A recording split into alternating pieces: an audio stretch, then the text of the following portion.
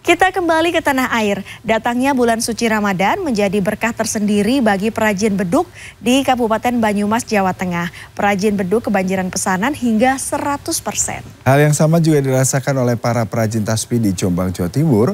Uniknya, tasbih karya perajin Jombang menggunakan kayu gaharu yang wangi.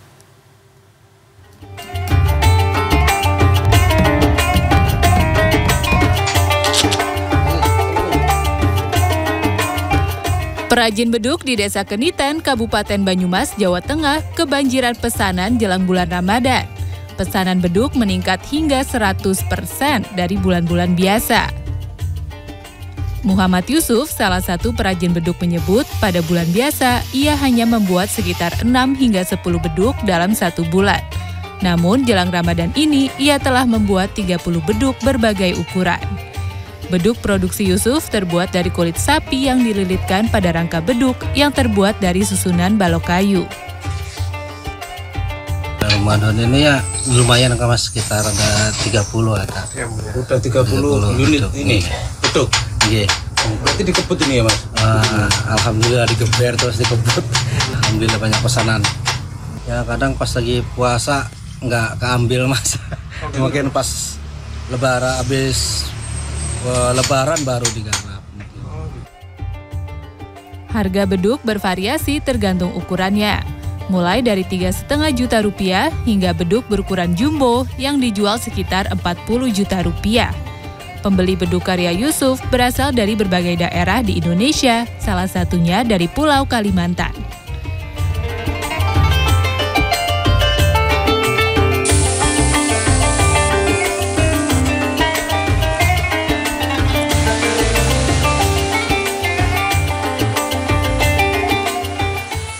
Bulan suci Ramadan juga membawa berkah bagi perajin tasbih di Jombang, Jawa Timur. Salah satunya pemilik kerajinan tasbih kayu gaharu Fatur Rahman di Desa Bawangan, Kecamatan Ploso. Aktivitas produksi tasbihnya pun meningkat. Yang biasanya membuat 20 hingga 25 kg tasbih, kini para perajin memproduksi 50 kg tasbih setiap harinya. Proses produksinya pun sederhana, mulai dari pemotongan kayu gaharu seukuran dadu, kemudian dibentuk menjadi bulatan atau bola-bola tasbih.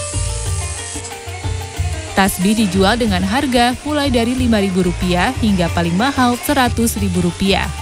Omsetnya pun bisa mencapai puluhan juta rupiah dibandingkan hari biasa. Tangan semakin meningkat.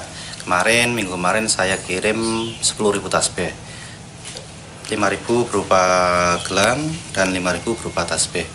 Antara isi tasbih muslim isi 33 dan isi 99 untuk kelas lokal mas biasanya tetap rutinitas Surabaya, Semarang, Jakarta, Bali. Selain untuk memenuhi pesanan lokal di Jombang, tasbih gaharu turut dijual keluar kota seperti Semarang, Bali hingga luar negeri yakni ke Arab Saudi. Tim Liputan CNN Indonesia